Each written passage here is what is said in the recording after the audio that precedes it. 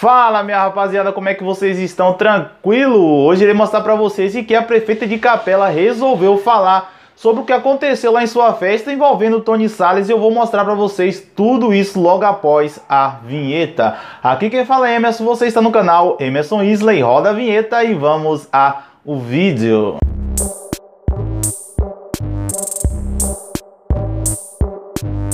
Pois é, minha rapaziada, a prefeita da cidade de Capela resolveu falar sobre o caso de Tony Salles. Ela usou suas redes sociais e deixou um vídeo lá. Mas antes de eu mostrar o vídeo, eu gostaria de deixar uma coisa aqui bem clara para vocês. Eu espero que vocês tenham olhado o título com bastante atenção e viu que no final da frase eu deixei uma interrogação. Ou seja, todo fim de frase com interrogação quer dizer uma pergunta. Então eu fiz uma pergunta para cada um de vocês, vocês que vai tirar suas próprias conclusões logo após eu deixar o vídeo aqui para vocês. A coisa também que eu gostaria de deixar bem claro é que eu não tive acesso ao vídeo diretamente, mas o site de fofoca Tony Fofoqueiro teve acesso a esse vídeo, ele me disponibilizou para mim postar aqui no canal. Então vocês seguem ele lá no Instagram, Tony Fofoqueiro, lá você vai ficar sabendo de tudo e ele vai deixar você mais informado ainda, porque toda hora que tá saindo notícia, ele tá postando lá para vocês, beleza? Então eu vou logo mostrar o vídeo de Tony Salles em que ele tá sendo agredido e depois também eu vou mostrar outro vídeo caso algum de vocês não tenham visto esse vídeo ainda. Então vamos lá, você vai ser logo mesclado para os dois vídeos. Então vamos lá.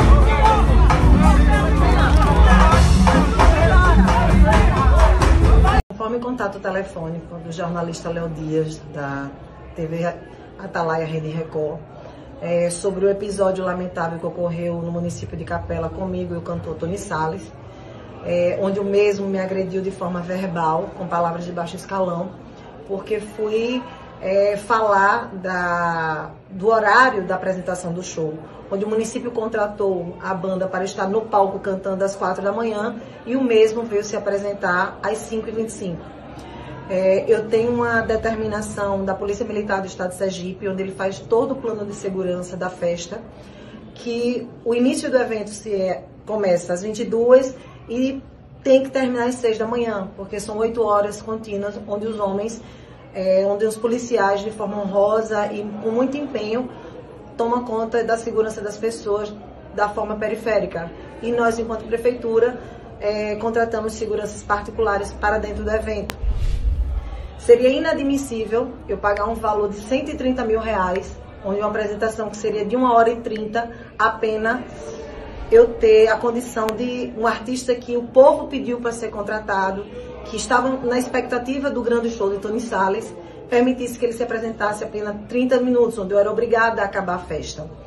E o mesmo, né, dessa forma muito deselegante, grotesca, é, proferiu essas palavras que nos deixam magoada. De imediato, quando ele voltou-se a mim, é, meu esposo Cristiano deu um empurrão nele, é verídico, como está no vídeo, mas porque acho que o, comporta dele, o comportamento dele enquanto cantor, é, acho que a deselegância e o desrespeito não partiu, nem da minha parte, nem da parte de Cristiano, como o próprio vídeo mostra. Então é lamentável o fato.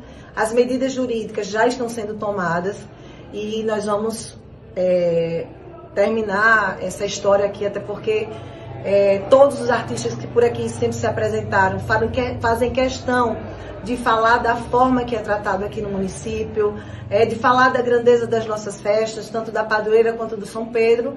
Então não seria né, esse fato que ia macular nem a minha imagem, nem a imagem de Cristiano e muito menos a imagem do município de Capela. Então eu agradeço a oportunidade de prestar esse esclarecimento. O fato foi a agressão verbal que o mesmo fez à minha pessoa. Muito obrigada.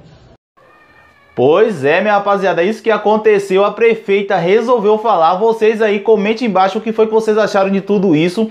Eu espero que vocês tenham gostado desse vídeo, cara. E também lembrando a vocês que recentemente aqui eu postei a história de Nelson Nascimento, o rei da pisadinha aqui no canal. Caso algum de vocês não viram, eu vou deixar o link na descrição para vocês passarem lá e poder conferir. Então, gente, o vídeo vai ficando por aqui. Eu espero que vocês tenham gostado. Se gostou, se inscreva no canal e ative o sininho de notificações. Muito obrigado e eu espero vocês vocês no próximo vídeo.